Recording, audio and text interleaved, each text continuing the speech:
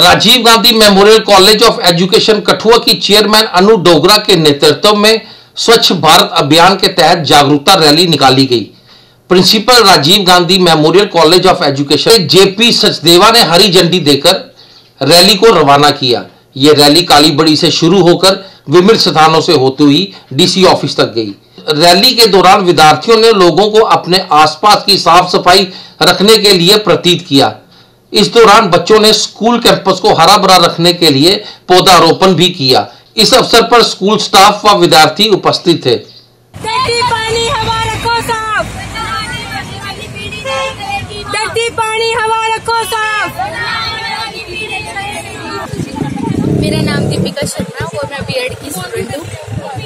आज हम ये सभी रैली निकाल रहे हैं स्वच्छ भारत अभियान के ये रैली इसलिए निकाली जा रही है ताकि जो हमारे कठुआ में है, जो हर जगह, जो भारत के वो सफ़ाई का प्रचार हो। और लोग सफ़ाई का, सफ़ाई को अपना एक ड्यूटी माने।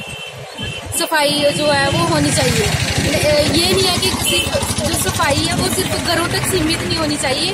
वो गलियों में, सड़कों पे हर जगह जो है सफ़ाई दिखनी चाहिए। और वो ये नहीं है कि सिर्फ़ प्रशासन की ही जिम्मेवारी है कि सफ़ाई करना। ये ये जो जिम्मेवारी है वो स्टूडेंट्स की भी है कि वो सफ़ाई में योगदान दे और लोगों को भी है। मेरा नाम है। राजीव गांधी कॉलेज से हैं हम। आज हम लोग ये रैली ऑर्गेनाइज कर रहे हैं स्वच्छ भारत अभियान के ऊपर। ये रैली इसलिए ऑर्गेनाइज कर रहे हैं सो दैट लोगों में ये अवेयरनेस आ, आ सके कि वो लोग अपना सराउंडिंग जो है उसको क्लीन रखें।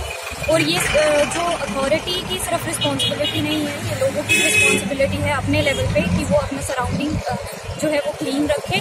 और ये जो स्वच्छ भारत अभियान चला हुआ है, इसमें अपना जो है कॉन्ट्रीब्यूशन अच्छे से करें।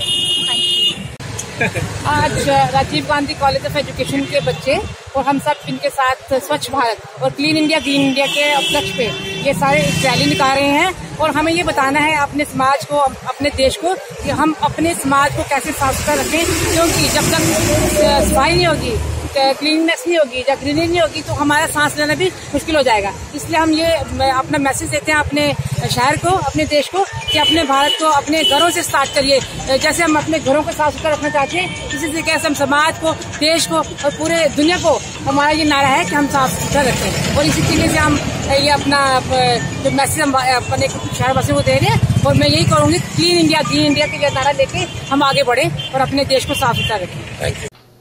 कठुआ से alert India news bureau report